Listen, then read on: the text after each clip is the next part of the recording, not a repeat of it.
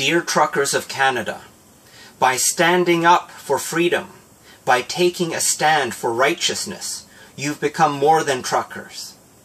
Each and every one of you have become founders of a new nation. Allow me to explain. Removing Justin Trudeau is only the beginning. It is the start to removing an unjust parliament and an unjust court system. In 2019, Parliament removed the spread of false news from the criminal code, just one year before the pandemic of 2020.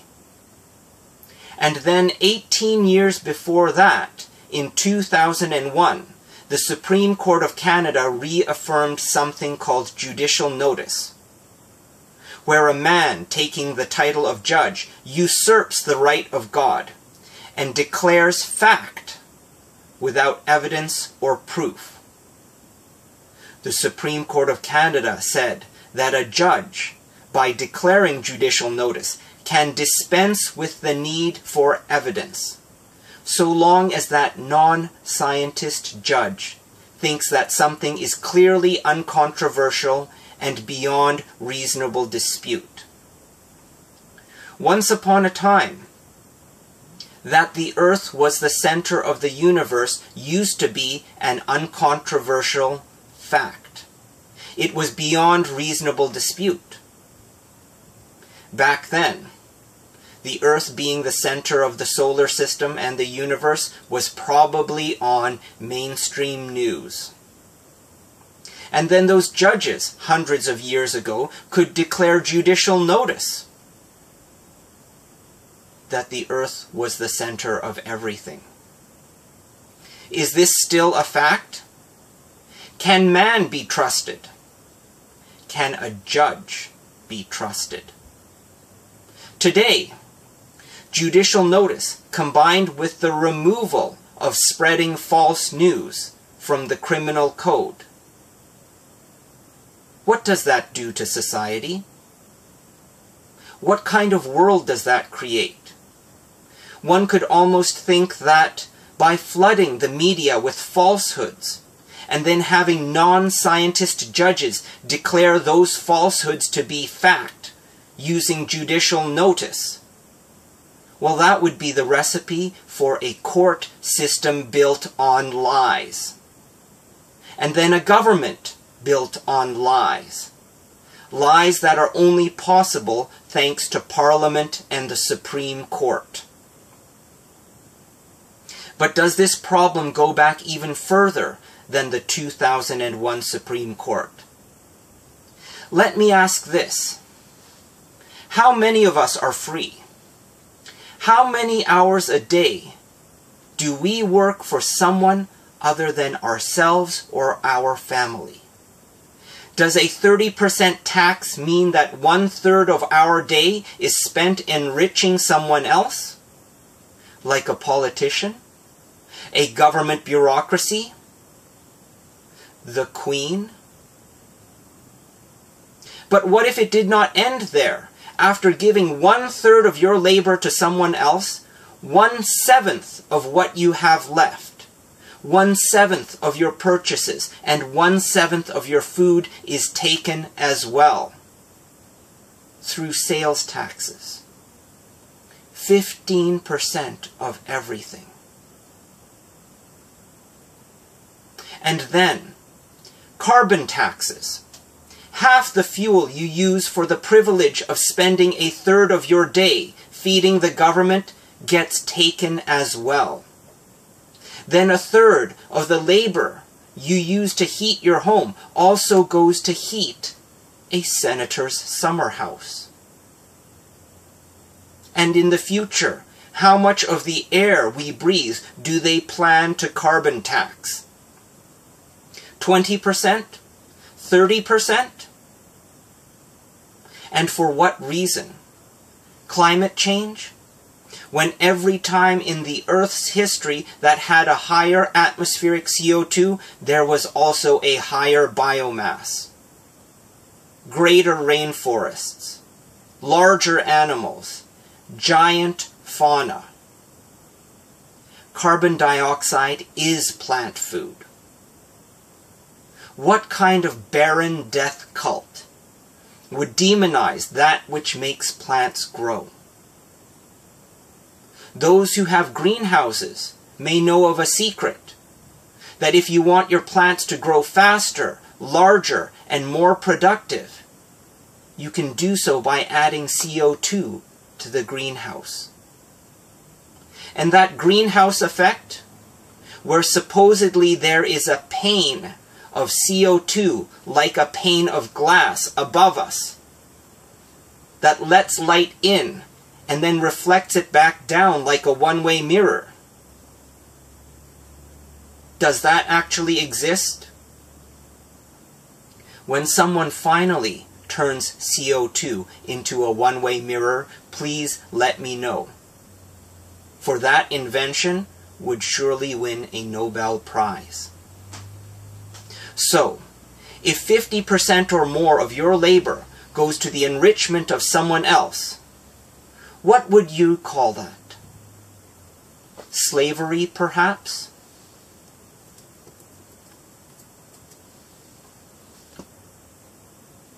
How did we get here? Have we been deceived? And what are the foundations of this deception? Could we have been cheated starting from the very ground we stand upon?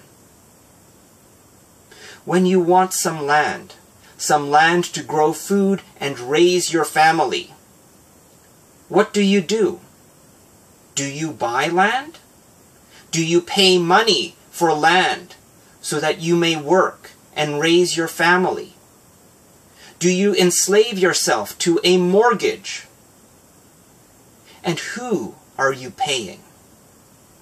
Do you think the Creator wants your money? Do you think Mother Earth wants your mortgage? Does the universe want your debt? Or is it someone else on the other side of an ocean who wants your money? Does she take your money for something she got for free 250 years ago? And then in her greed, she makes you pay taxes for having that land, living on that land, and keeping that land for your children. That is the profane foundation upon which today, this day, was built. Built by a greed that is unsatisfied by your money, ungrateful for your labor. And now it wants the very body that your soul lives in. It wants to dictate what you are allowed to put into that vessel that was given to you by the Creator. This greed wants to dictate how much you are allowed to live. It wants to monitor and tax your every breath. Have you ever read the patent about turning your body's activity into a cryptocurrency? They already want to turn you into money, disposable money. And what of those machines, those manacles some of us wear on our wrists. You know, those arm bands that measure your heartbeat, how often you turn over in your sleep, and how much oxygen you consume. What do you think is the long-term plan for those shackles? Today it's injections, tomorrow food, and the day after tomorrow, slavery. The media already demonizes food. What you're eating has a carbon footprint. You have to pay carbon taxes for eating. They want you to pay a carbon tax for the privilege of living. Does the Creator collect taxes? Does Mother Earth take away from your table? Or does the Creator give? does Mother Earth feed.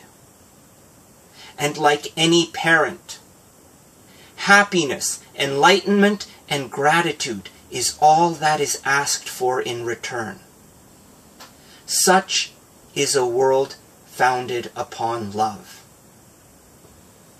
Such is the foundation that the Creator and the earth want us to build upon.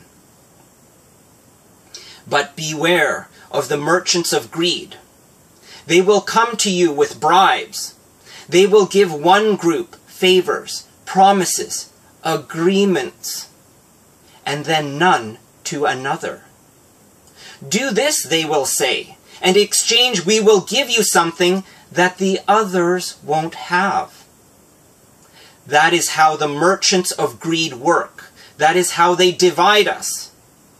That is how they corrupt every one they touch. There are no others. It is us. Only us. The merchants of greed are well dressed. They carry titles of power. And they also hold implements of violence. But fear not, they are weak. For if they cannot divide us into others, we win. We become the founders of a new nation. For example, when you attend a courtroom to discuss a bill of exchange, otherwise known as a violation ticket, for some alleged infraction, when you attend a courtroom for an unlawful theft of your property or your freedom by a merchant of greed, when you attend a courtroom, either in person, in camera, or by phone, ask this. Does the judge stand under the highest authority? If the judge refuses to say yes and offers some semantic substitute, ask again. Does the judge stand under the highest authority, under the Creator God? if you get some verbal diatribe that does not contain the answer yes, ask again a third time. Does the judge stand under the highest authority, under the Creator, under the laws common to all women and men? And if that judge still fails to respond with a yes, then say this the judge does not stand under the Creator. Only animals refuse to stand under the highest possible authority because they know no better. Therefore, the judge is neither man nor woman. The judge must be a creature for refusing to stand under God. Therefore, the judge is unfit for the bench, unfit to pass judgment on men, and unfit to be heard. This court is out of order. Dismiss the judge. And if the judge says something to distract, such as words about standing under Her Majesty the Queen, simply ask, Is the Queen God? Is the Queen creator of all? And if that judge fails to say no, then declare that judge a fool, unfit for the bench, unfit for the courtroom, and unfit for any proceeding where men and women stand under God. So thank you, truckers. I thank you. I thank every woman and man. For you are founders of a new nation under the Creator. We shall work together to create a new world founded upon truth, love, and enlightenment. A life well lived is not measured by years of worldly existence. A life well lived is not measured by fortunes. It is measured by deeds done, momentous acts of courage, and the knowledge that we use each and every last bit of matter in our bodies under the guidance of our God-given souls for the service of excellence. For as Plato said long ago, justice is excellence of the soul. We are justice. We are founders of a new nation. And we stand for freedom. Thank you.